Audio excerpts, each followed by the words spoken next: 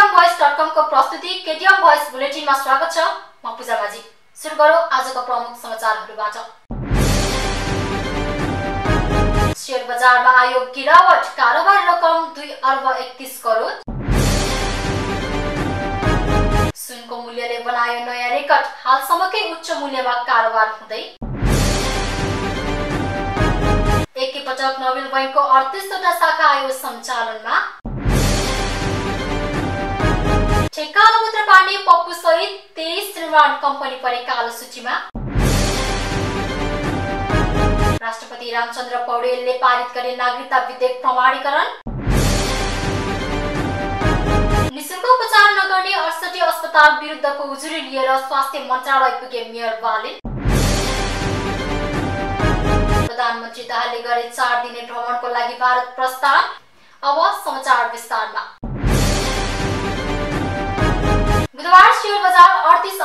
ओह्रालो लागेको छ।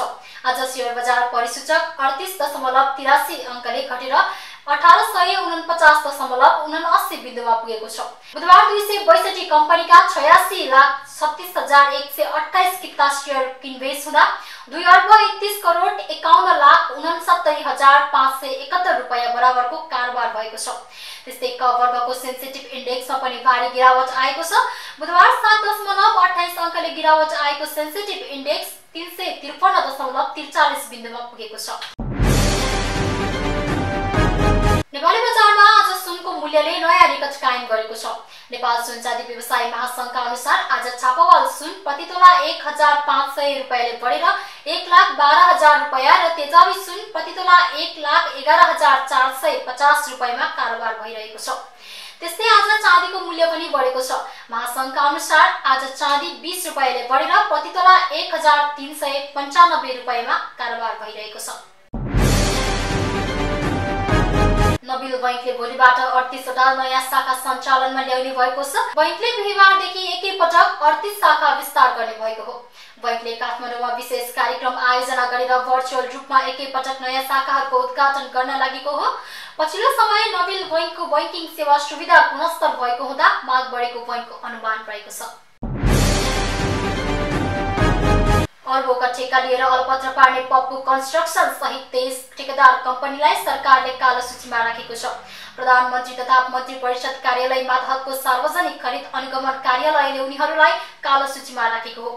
कालो सूचीमा पर्ने पप्पु सहित कोशी एन्ड न्युवाने YP construction Saptakoshi जलाघर Omsai and company Aakriti advertising थाक ठिनी इन्जिनियरिङ एन्ड कन्स्ट्रक्सन लगायतका कम्पनीहरू रहेका छन्।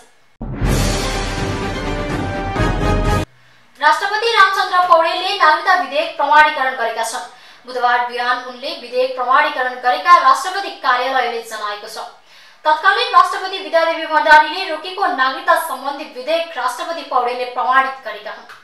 यसअघिको संघीय संसदबाट पारित भएको नागरिकता सम्बन्धी विधेयक प्रमाणीकरण गर्न सरकारले गत जेठ बाह्र गते राष्ट्रपति पौडेललाई अनुरोध गरेको थियो। यसअघि संसदका दुवै सदनले पारित गरेको नागरिकता विधेयक दुई हजार उनासी साउन सोह्र गत तत्कालीन राष्ट्रपति विद्यादेवी भण्डारी समक्ष प्रमाणीकरणका लागि पठाइएको थियो। तर उनले विधेयक चित्त नबुझेको भन्दै संसदलाई फिर्ता पठाएकी थिइन्। पुनः भदौ बिस गते दुवै सदनले दोस्रो पटक विधेयक बहुबहु पारित गरेर पठाउँदा पनि विधेयक शीतल निवासमा नै रोकिएको थियो। यसरी पठाइएको विधेयक पन्ध्र दिनभित्र प्रमाणीकरण गर्नुपर्ने संवैधानिक व्यवस्था भए पनि तत्कालीन राष्ट्रपति भण्डारीले प्रमाणीकरण नगरी नै शीतल निवासबाट बाहिरिएकी थिइन् सोही विधेयक राष्ट्रपति पौडेलबाट प्रमाणीकरण भएपछि विभिन्न कारणले नागरिकता पाउनबाट वञ्चित पाँच लाख बढी युवाहरूले नागरिकता पाउने भएका छन्। तर विधेयकमा गरिएको विभिन्न प्रावधानलाई लिएर विरोध भइरहेको छ।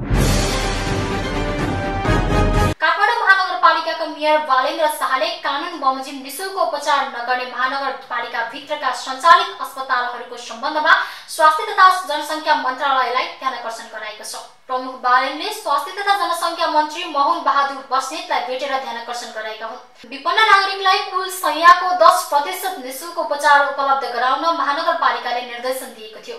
तर महानगरपालिकाको निर्देशन कार्यान्वयन गर्न अस्पताल मानिरहेका छैनन्।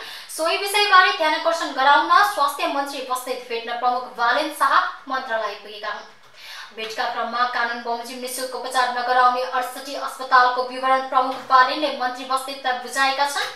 अटेर गर्ने अस्पताललाई कारवाही गर्न समेत उनले माग गरेका छन्। महानगरपालिकाले स्वास्थ्य संस्था सञ्चालन मापदण्ड दुई हजार सतहत्तर अनुसार विपन्न एवं रक्षित वर्गलाई कुल सयको दस प्रतिशत छुट्याई निशुल्क उपचार गराउन गत छ जेठमा निर्देशन दिएको थियो।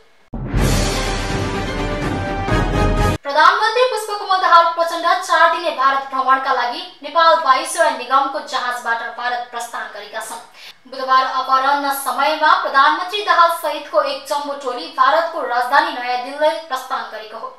उनीसँगै विभिन्न क्षेत्रका एक सय व्यक्ति भ्रमण दलमा सहभागी भएका छन्। द्विपक्षीय हितका विषयमा छलफल गरी उनी सहितको टोली जेठ बिस गते स्वदेश फर्कने भएका छन्।